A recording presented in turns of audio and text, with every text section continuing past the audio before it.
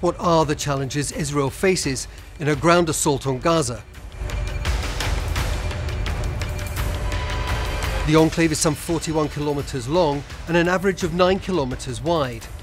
Highly urbanized, it also has wide open spaces, mainly used for agriculture, to help feed the 2.2 million people being held there. But for the most part, Israeli soldiers will have to move and fight through densely built up cities and towns. Israeli officers have been studying the lessons learnt by the Russian military in trying to take Ukrainian cities and are trained to use a combined arms approach. This means infantry moving alongside tanks as they're being watched and protected overhead by Air Force jets and armed drones. Hamas has learned from its ground battles in Gaza in 2014, where small unit tactics worked well at ambushing individual groups of Israeli soldiers.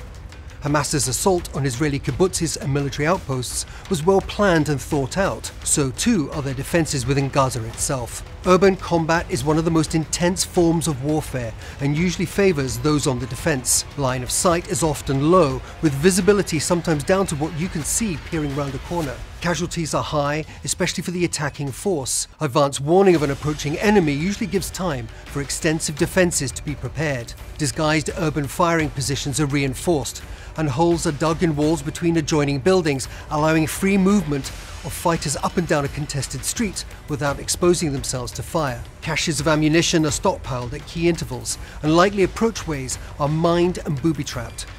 The extensive bombing of Gaza by the Israeli Air Force may actually backfire by helping Hamas be able to defend Gaza more ably. During the Second World War, the German Air Force made the mistake of heavily bombing Stalingrad prior to the German army trying to seize the city on the ground.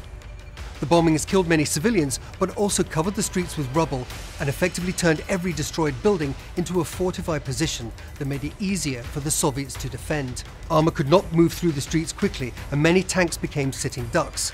Snipers harassed attacking troops, so virtually all movements stopped. The Israelis have figured out a way around this and have made extensive use of military bulldozers, sometimes through housing, in order to carve paths to their destination. The most viable way for Hamas fighters to move through the enclave is through their extensive tunnel system that they have spent years building and has only been partially detected and destroyed. Bunker buster bombs may have collapsed some of the buildings near the surface, but Israeli special forces will have no choice but to go into those tunnels and fight. Subterranean warfare has been something both the Israeli and US militaries have increasingly focused on as potential battlefields of the future. Small unmanned robots are designed to move through and map tunnels in front of any force, alerting it to the presence of any defenders. Large unwieldy assault rifles would have to be ditched in favour of more compact machine pistols.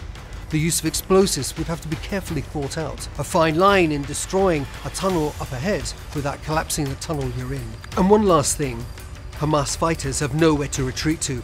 Can't run away or even hide for any length of time forcing them to fight even more desperately. Their ranks likely swelled by young men whose relatives have been killed in the bombardment. Fenced in and walled off, everybody is stuck there.